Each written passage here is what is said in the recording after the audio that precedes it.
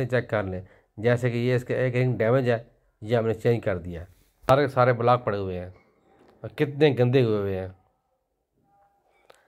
इन चीज़ों को देखते ही नहीं है और तो आज हम इस गाड़ी का मुकम्मल काम करेंगे और इस कोड को ख़त्म करेंगे। जब ये कोड आए तो आपने हर तरफ़ से इसकी एग्जास लीक चेक करनी है। चलो जी काम खलास कल फिटिंग करो लगाओ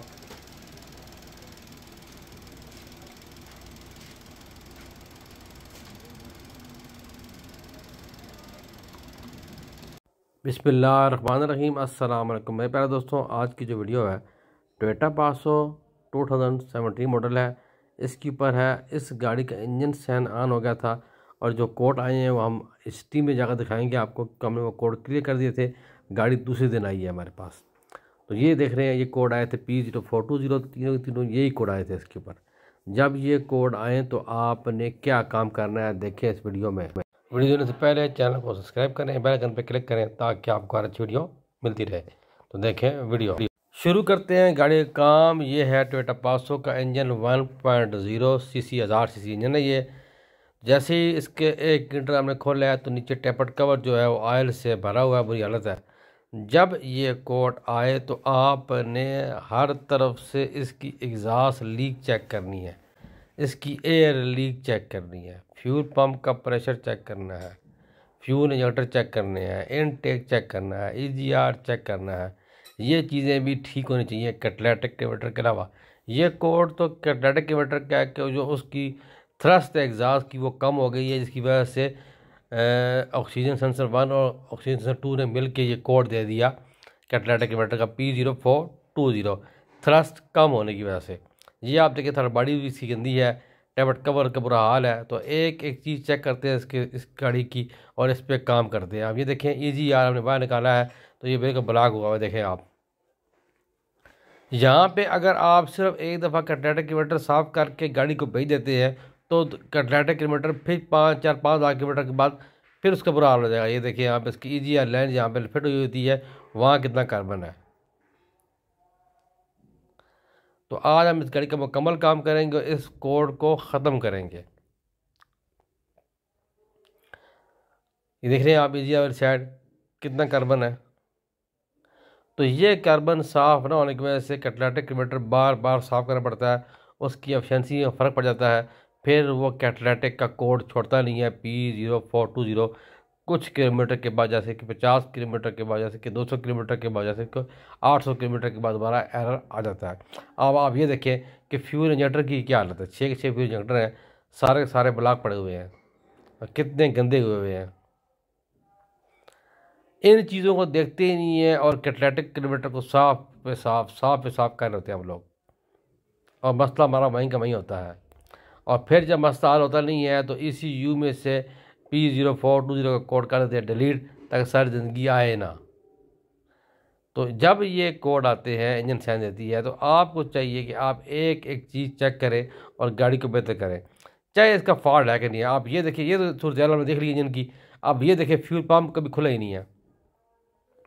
जब ये खुलेगा, इसके अंदर कितना कार्बन होगा? इसको बाद चेक करते हो, ये देखिए, आप ई जी आर की हालत देखें। ये ई जी आर है। एग्जास गैस रिसर्कुलेशन ये करता है एग्जास गैस की। इसके अंदर कितना कार्बन है? तो ये चीज़ें हम साफ़ नहीं करते और कैटलाटिक केमेटर के पीछे पड़े होते हैं।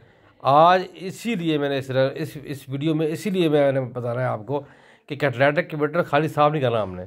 अभी ये देखिए स्पार्क प्लग सारे लीक, आयल से भरे हुए और लीक हो रहे हैं, क्योंकि टेपट का जैन लीक है। गाड़ी किस तरफ़ जा रही है? गाड़ी बहुत ख़राबी की तरफ़ जा रही है। एक बड़े मसले की तरफ़ जा रही है। जब गाड़ी ये हमारे पास आई है तो हमने उनको बताया है कि सिर्फ़ कटरेटे का हम काम नहीं करेंगे, हम सारा काम करेंगे, गाड़ी को करेंगे क्लियर। तो आपने सारा काम कराना है। तो भाई कहते हैं कि मैं कल सुबह आऊँगा तो अगले दिन आए हैं तो हमने काम शुरू किया इसका। अभी हम इसकी एक एक चीज़ खोलेंगे और स्टेप स्टेप सारा काम करेंगे। तो स्पाप यही साफ़ करेंगे, ये लगा लगा के दे, देंगे इनको। अब ये इसका ऑक्सीजन सेंसर है, ये तो गंदा है ही। कैटलाटिक इन्वर्टर तो इसका गंदा है ही, वो वो भी चौक है। इसके अंदर तो मसला है ही यार ये चौक क्यों होता है? वजह क्या है? अब ईजीआर की साइड से भी कार्बन आ रहा है इनटेक की तरफ़ से कार्बन आ रहा है फ्यूल पंप की तरफ़ से कार्बन आ रहा है। तो इन देखिए अब ये कर्नाटक के वाटर भी देखा ये हल्का सा क्रैक भी हुआ है। ये आप देख रहे हैं किस तरह ऑयल और ये देखिए, ये इसका टैपट कवर जैन है, ये टूट रहा है। ये टेम्परेचर लेने की वजह से इतना हार्ड हो गया है। जिसकी वजह से ये लीक कर गया है ये हम चेंज करेंगे। और टैपट कवर को सारे को धोएँगे। और आप ये देखिए इसका फ्यूल फ़िल्टर ये बाहर से कितना साफ़ नज़र आ रहा है और गाड़ी वाले भी कह रहे हैं, बड़ा बड़ा साफ़ है। तो आप देखें कि इसके जो इसका फ़िल्टर स्टेनर है, इसकी क्या हालत है और आप इसके फ्यूल फ़िल्टर की हालत देखिए अभी। अभी मैं आपको दिखाता हूँ। बिल्कुल साफ़ ट्रे है इस टाइम ट्रे जो है, बिल्कुल साफ़ है। आप देखिए, अभी ऐसी ऐसी निकल रहा है। इसमें से जो है वो काम निकल रहा है? बगैर प्रेशर के साथ ही।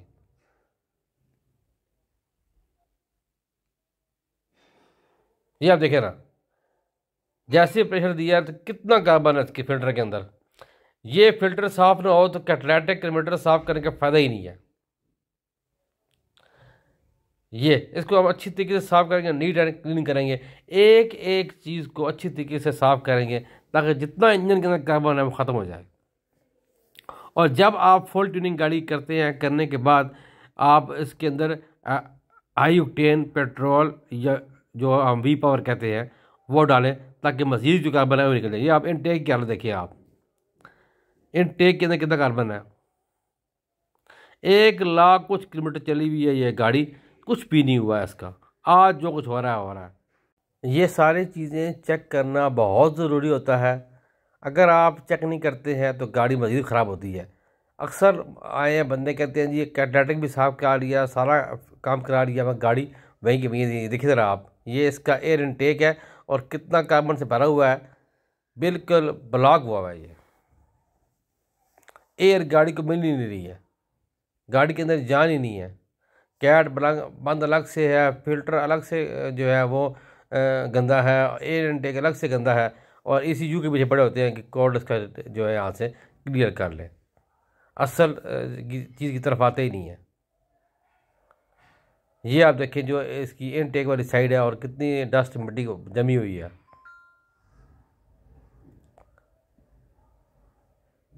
ये आप दोबारा देखिए आप, इसका कर्नाटक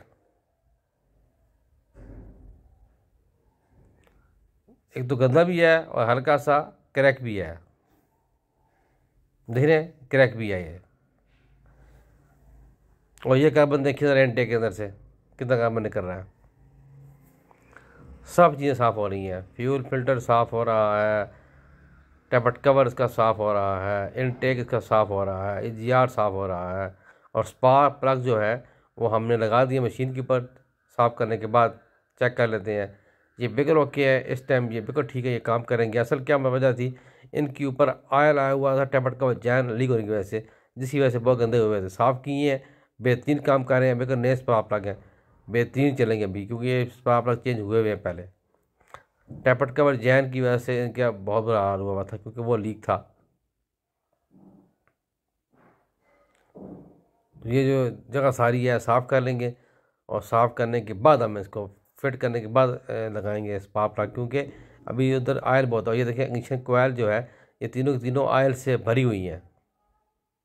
इनको साफ़ करेंगे अच्छी तरीके के साथ ये टेक मुकम्मल साफ़ हो गया एंड नीट एंड क्लीन हो गया, देखें आप। सफ़ाई के बाद चीज़ कितनी ज़रूरत लगती है आप, ये देखिए एयर इनटेक के अंदर से देखिए आप।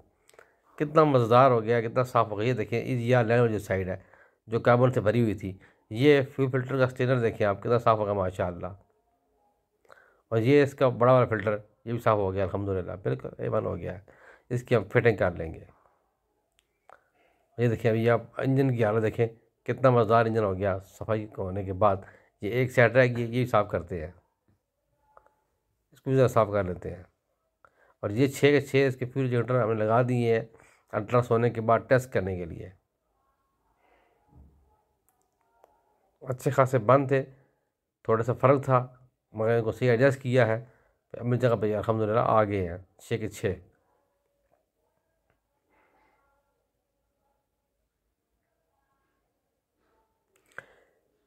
इंजन सैन आने से पहले अस्सी हज़ार किलोमीटर के बाद या लाख किलोमीटर के बाद लाजमी फुल ट्यूनिंग कराया करें तो फिर ये चीज़ें बहुत कम ख़राब होती हैं। टाइम पे साफ़ हो जाती हैं, बस बढ़ते नहीं हैं। माशाल्लाह, फ्यूल जनरेटर इसके बिगड़ रखे हैं। ए वन है बेहतरीन काम कर रहे हैं। ज़बरदस्त।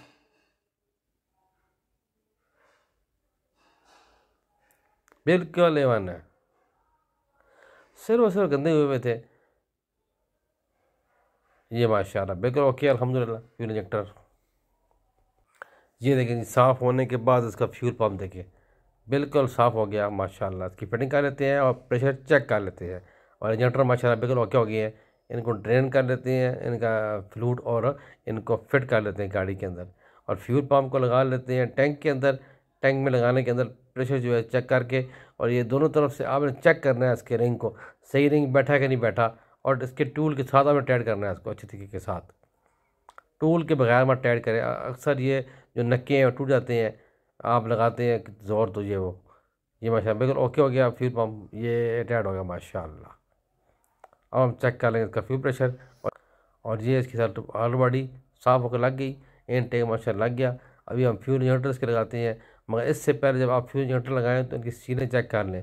जैसे कि ये इसका एक रिंग डैमेज है ये हमने चेंज कर दिया छः के छः जो इसके रिंग है ये हम लंबी चेक कर रहे हैं। एक ख़राब था हमने चेंज कर दिया। अगर ये एक रिंग आप लगा दें चेंज करें तो गाड़ी मिस फायरिंग करेगी।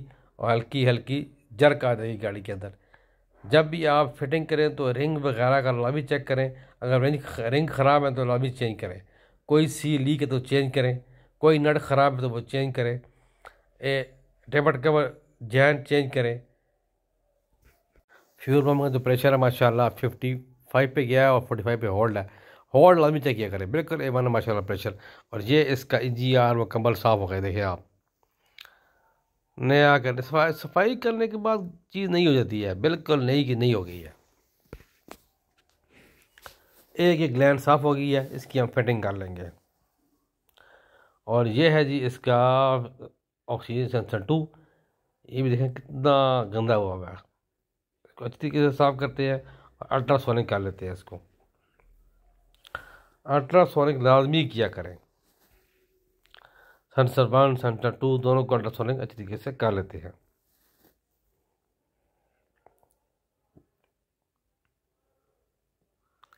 छः सौ सेकेंड तक ये है अल्ट्रासोनिक होंगे दोनों, और इनमें से जितना कार्बन है, सब निकल जाएगा। बिल्कुल कार्बन इसमें नहीं रहेगा। अब हम कर लेते हैं इसमें कैडेटिक किलोमीटर साफ़ कैट वाश लिक्विड के साथ। हम लोगों ने नीचे से खोल दिया है इसका कैटलेटिक नीचे खुला हुआ रखी हुई है ट्रे। जितना कार्बन निकलेगा कैटलेटिक से सारा का सारा वो ट्रे में चला जाएगा। जब आप कैटलेटिक के मीटर साफ़ करते हैं तो लिक्विड आस्ता आस्ता एक एक सुराख के अंदर आप जाने दें। तो जो कैट वाश लिक्विड है वो सुराख से कार्बन निकाल के सारा का सारा आ, सफ़ाई करके वो ट्रे के अंदर चले जैसे ये जा रहा है। ऐसे चला जाएगा और बिल्कुल साफ़ सुथरा हो जाएगा। ये माशाल्लाह, देखनी है। बिल्कुल साफ़ हो गया कैटाटिक। बिल्कुल ए वन हो गया। हल्का सा डैमेज है। अगर इस डैमेज होने की वजह से कैटलेटिक दोबारा एरर देता है तो नीचे वाले सेंसर पे आप अडाप्टर लगा लें, फिर ये एरर भी नहीं आएगा। तो थोड़ा सा कैटलेटिक डैमेज हो गया है। ये डैमेज पहले का है, क्योंकि बहुत लेट साफ़ किया गया इसको, और ये सेंसर वन और टू दोनों अल्ट्रासोनिक हो गए हैं, इनकी हम फिटिंग कर लेते हैं गाड़ी के अंदर। जब इनको आप फिट करें तो इनकी चूड़ी सही बिठाएँ, ताकि सही टाइट हो जाए, इनसे एग्जास्ट लीक ना हो।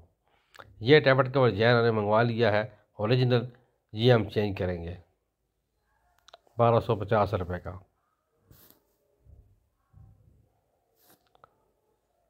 हम लोगों ने बहुत सारे मंगवा लिए, एक एक ये नहीं, और सारे और भी मंगवा लिए हैं, क्योंकि अक्सर ये ज़रूरत पड़ते हैं। ये हमने चेंज कर दिया।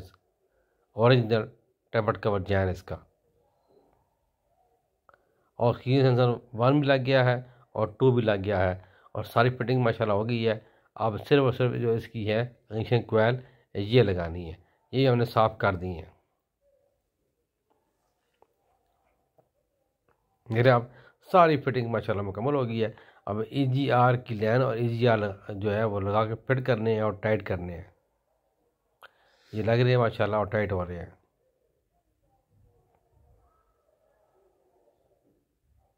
एक एक चीज़ खोलने के बाद सही फिट करनी है, सही फिक्स करनी है, ताकि कुछ चीज़ लूज़ ना रहे।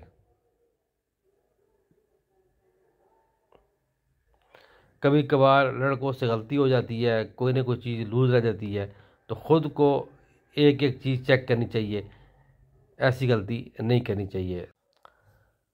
एक दफ़ा गाड़ी को स्टार्ट करना चाहिए। स्टार्ट करने के बाद दोबारा चेक कर लेना चाहिए। तसली कर लेना चाहिए। ये माशाल्लाह मुकम्मल सारी फिटिंग हो गई है।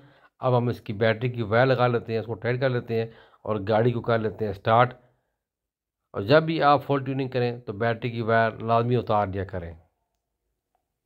अब गाड़ी करते हैं स्टार्ट गाड़ी थोड़ा सल्फ लंबा लेगी।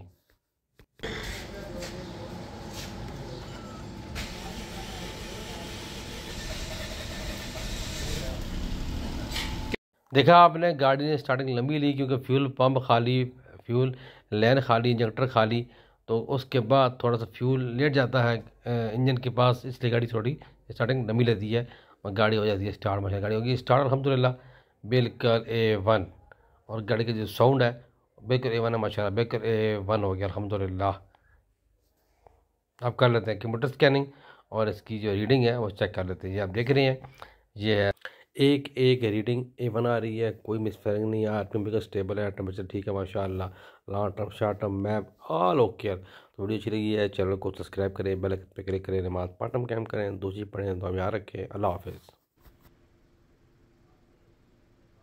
चलो काम, खलास।